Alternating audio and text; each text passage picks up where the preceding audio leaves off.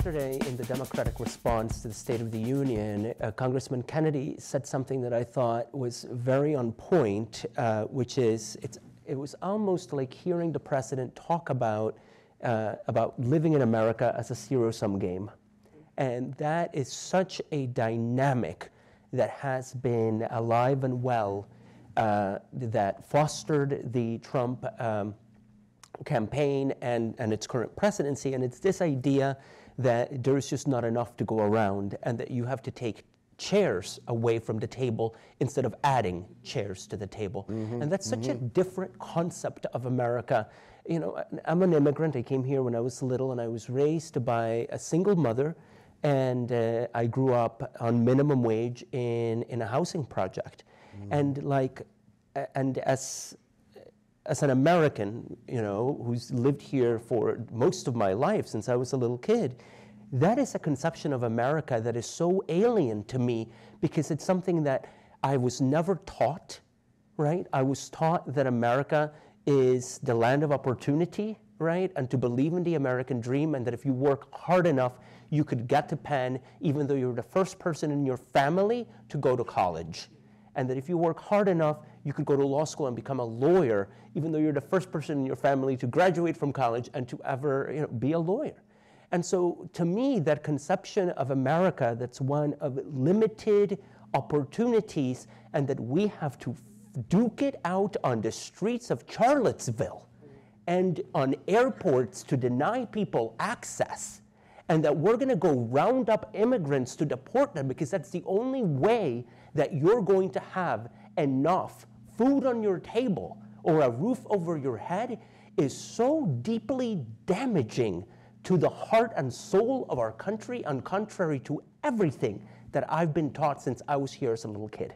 And I think that is what's most at stake is what is the vision for America? Mm-hmm. Is it a vision where we provide opportunities only to people who look a certain way or who come from certain zip codes?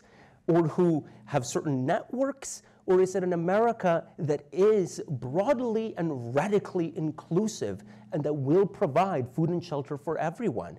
And I would like to believe that the America that my mom signed up for when she brought me here as a little kid and that I signed up for is the America that we all live in. And, and it's really crazy to me that, that it's not. And so the images of things like Charlottesville. The, the, my office out of Boston responded to an incident of an eight year old black kid who was nearly lynched in Claremont, New Hampshire, in the heart of New England. A little kid being attacked by his white peers.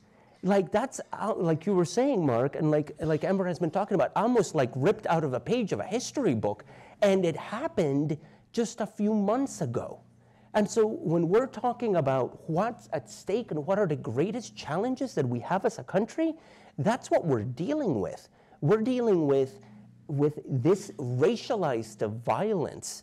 We're dealing with this tremendous strand of xenophobia that made the US president and the Republican Party go on live TV yesterday and say that family reunification is the biggest threat to our country because that family reunification is the reunification of black and brown families, of other minorities, and of immigrants. And that is deeply damaging. And so, those are, I think, some of the ideas that, that come to my mind when I hear Mark and Amber talk, because I completely agree. It is about uh, what is the concept of America what type of democracy we live in, and how economic opportunities are distributed. And so all of this is at stake. And, uh, and I think we also need to be very careful about these conversations because, you know, I noticed a report that was issued by the Center for American Progress that talked about kind of like, you know, explaining the Trump phenomenon and attributing it mostly to the economic, economic challenges that are being experienced in blue collar communities.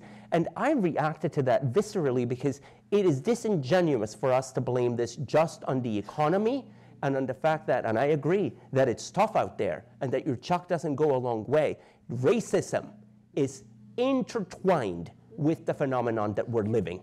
And if we cannot, as, as organizations, as advocates, as leaders, uh, ad- admit that and talk about that, as uncomfortable as it might feel, then we're not doing our jobs and our communities justice.